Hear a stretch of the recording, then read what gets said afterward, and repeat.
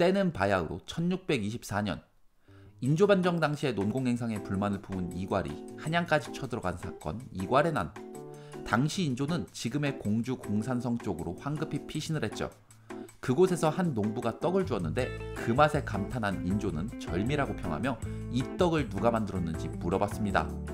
그런데 정확히 누가 만들었는지는 아무도 몰랐지만 임시성을 가진 사람이라는 것만 알던 상태였죠. 그래서 이 떡을 임절미라고 부르게 된 것이 현재 인절미로 바뀌었다는 민간 설화가 전해져 오고 있습니다. 이처럼 세상의 다양한 음식들 중에는 여러 가지 이야기를 품은 것들이 많습니다. 이번 영상은 이에 관한 이야기를 해보겠습니다. 햄버거와 콜라의 영원한 단짝 프렌치 프라이. 이름만 들으면 프랑스에서 만들어진 요리인 것 같죠. 그런데 이 감자튀김은 벨기에에서 전해졌다는 재밌는 썰이 있습니다. 1차 세계대전 중 유럽 전선 벨기에 지역에 파병된 미군은 프랑스와 벨기에에 걸쳐 있는 뫼즈강 근처에서 겨울철 물고기가 부족해 그 대신 감자를 튀겨 먹는 걸 보고 이 방식을 따라해 먹기 시작했는데 너무 맛있어 깜짝 놀랐죠. 전쟁이 끝나고 미국으로 돌아간 군인들이 자신들이 전쟁 중 익혔던 이 감자튀김을 먹기 시작하며 이름을 프렌치 프라이라고 했다고 합니다.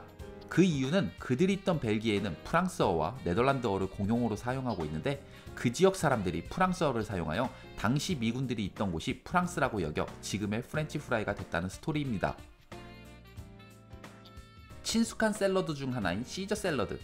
개인적으로 로마의 황제였던 카이사르, 영어로 시저로 불리는 율리우스 시저의 이름에서 온 메뉴인 줄 알았습니다.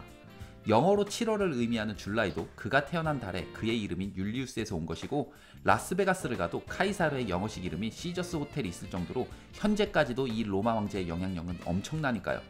그런데 이 샐러드는 방금 언급한 율리우스 시저와는 관계가 없습니다. 이탈리아 출생의 미국으로 이민 간 시저 카디니 1920년대 초 그는 당시에 미국의 금주령을 피해 술을 함께 마실 수 있는 레스토랑을 캘리포니아 남부 샌디에고와 맞닿아 있는 멕시코 티우아나에 오픈했습니다. 그의 레스토랑은 술을 먹기 위해 넘어온 미국 사람들로 인기가 좋았죠. 특히 헐리우드 스타들이 꽤 많았다고 합니다.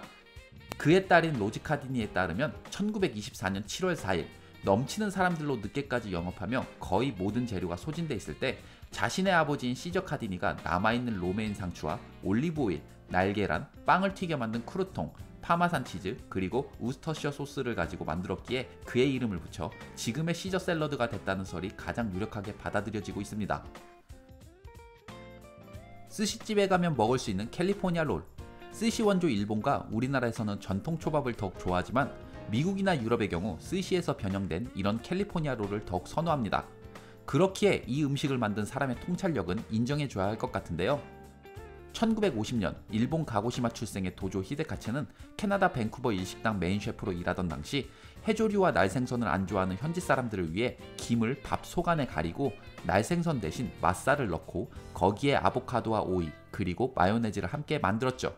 반응은 폭발적이었습니다. 특히나 미국 캘리포니아에서 온 손님들이 이 메뉴에 흠뻑 빠졌죠. 그렇기에 도조 히데카즈는 이 이름을 캘리포니아 롤로 지었다고 합니다. 케이크 전문점이나 빵집에 가면 쉽게 볼 수 있는 파운드 케이크. 무게 단위인 파운드 이름이 들어가 있고 뭔가 생긴 것이 묵직해 지어진 이름이 아닐까 생각될 수도 있는데요. 밀가루, 버터, 계란, 설탕을 각각 1파운드씩 넣고 만들어 이렇게 지어진 이름입니다. 한마디로 현재 판매되고 있는 여러 재료를 넣은 갖가지 파운드 케이크는 이 케이크의 유래에 정확히 부합하는 것은 아닌 것이 됩니다. 하지만 음식뿐만 아니라 세상 모든 것은 항상 변하기 마련이지요. 멕시코 음식에서 나초는 절대 빼놓을 수 없죠. 토르티아를 튀긴 이 음식은 한 멕시코 사람의 이름에서 왔습니다. 1943년 당시 멕시코의 도시 피에드라스 네그라스와 국경지대에 있던 멕시코 텍사스 군기지 포트 덩컨. 어느 날 군가족 와이프들이 이 작은 멕시코 타운으로 쇼핑을 간 후 식사를 하기 위해 레스토랑을 찾았지만 하필 모두 닫혀 있었죠. 그래서 이들은 빅토리 클럽이라는 호텔에 들어가 음식을 만들어 줄 수 있냐고 물었습니다. 이곳 관리자였던 이그나시오 아나야는 주방장이 없던 와중에 자신의 기질을 발휘해 먹기 좋은 크기로 자른 토르티아를 튀기고 그 위에 치즈와 할라피뇨를 얹은 후 치즈가 녹도록 구웠습니다. 이것은 바로 우리가 아는 그 나초 요리죠. 우리가 아는 맛있는 맛에 홀딱 반한 사람들의 입소문을 타고 이 음식은 유명세를 타기 시작했습니다.